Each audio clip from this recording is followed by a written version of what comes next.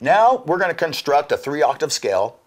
And um, the reason why I teach this is there's many reasons in this one. This is, this is a great scale to connect the neck and also gives you more opportunity to play your blues scale mixed in with your minor scale. The minor scale lays right on top of the blues scale.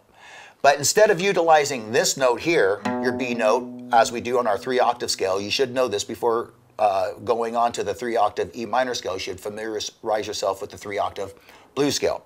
But we'll be, instead of utilizing our B here, we'll be using, utilizing our B here. And so the purpose of this is to use all our fingers and use all of the neck. So rather than having just little box areas that we move from, our box now becomes our whole neck. So this is a great trick that uh, I've actually taught to professional guitar players. So here we go. Uh, we're going to construct this now, and we're going to start with our open six string. So here we go, open six string. Now you're going to fret it at the second fret with your first finger. Now you're going to fret the same string, second finger, third fret. Now you're going to fret the fifth string, I mean, I'm sorry, fifth fret with your little finger, string finger number four. So here's what we just did. All right, now we're going to switch to the fifth string. This is the hard one.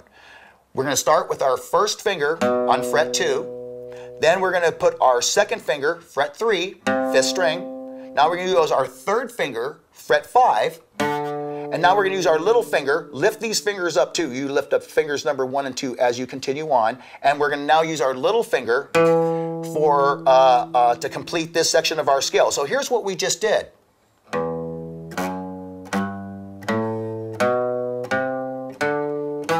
Okay, there's no sliding. You have to use that finger in that situation because in the future we're gonna we're gonna become faster at this. You have to use alternate picking. You have to use one finger per fret no sliding. Okay, so now we got the first part of our scale done on strings number six and five. Now we're gonna go to string number four. We're gonna use our first finger on the fourth fret. And then we're gonna use our second finger on fret number five. Our third, our little finger is gonna be on fret number seven. Okay, so then we're gonna switch strings again. We're going to string number three, and we're gonna put finger number one on the fourth fret, uh, string number three.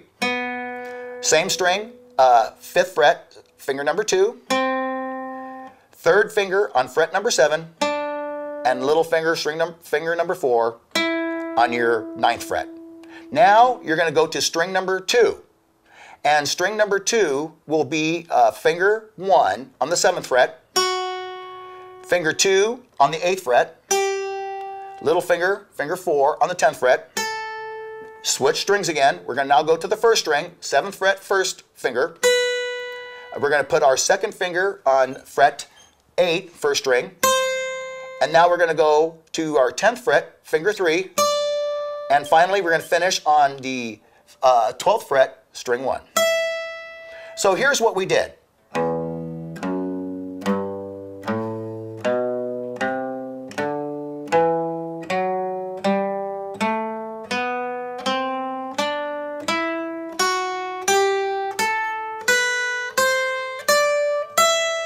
All right, now, alternate picking comes into play here. We have to use alternate picking because that's the only way we're gonna develop speed in the end, okay? So now we went all the way to the top, go down now. So we went up in pitch, use, utilize the same fingering. You're gonna go back down the same exact way because it's important for speed in the future. Now watch.